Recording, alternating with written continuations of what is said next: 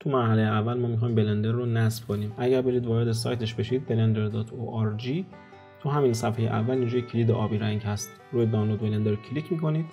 هدایتتون می‌کنه داخل این صفحه و بعد به صورت اتوماتیک واسهتون یک دونه پنجره دانلود میاره. اگر این اتفاق نیفتاد روی این دانلود کلیک می‌کنید.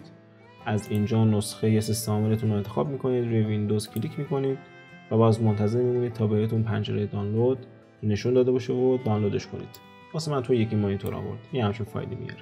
اگر موفق نشدید از اینا دانلود کنید توی گوگل به فارسی بزنید دانلود بلندر. توی سایت ایرانی هم هست با لینک مستقیم می‌تونید دانلود کنید. ولی من پیشنهادم همیشه اینه که از داخل سایت اورجینال آخرین نسخه رو دانلود کنید. خب من این کار رو انجام دادم دانلودش کردم. این که تو این زمانی که من دانلود کردم آخرین نسخهش آخرین نسخه بلندر هستش. دو ممیز 91 ممیز دو. روش double click می‌کنم.